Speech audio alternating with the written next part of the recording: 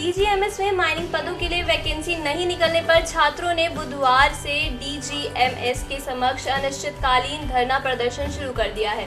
Mining छात्रों का कहना है कि सेफ्टी कॉन्फ्रेंस रिपोर्ट के अनुसार माइनिंग स्टैचुरी पोस्ट में बहुत सारी रिक्तियाँ हैं। पिछले काफ़ी समय से इन रिक्त पदों को भरा नहीं जा रहा है। माइनिंग छात्रों ने 17 मार्च को खान सुरक्षा महानिदेशालय के महानिदेशक से मुलाकात भी की थी। इसमें भरोसा दिलाया गया था। इसके बाद 26 जुलाई को कोयला भवन में फिर से अधिकारियों से मुलाकात की गई। एक बार फिर आश्वासन मिला, लेकिन कोई ठोस कदम नहीं उठाया गया।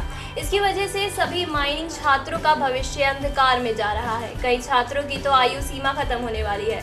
भविष्य को लेकर हम अनिश्चितकालीन धरना प्रदर्शन के लिए बाध्य हैं। छात्रों का कहना ये भी है कि 15 दिन के अंदर सभी रिक्त स्टैचुरी पोस्ट को भरने के लिए फ्रेश वैकेंसी निकाली जाए ताकि माइनिंग छात्रों का भविष्य उज्जवल हो।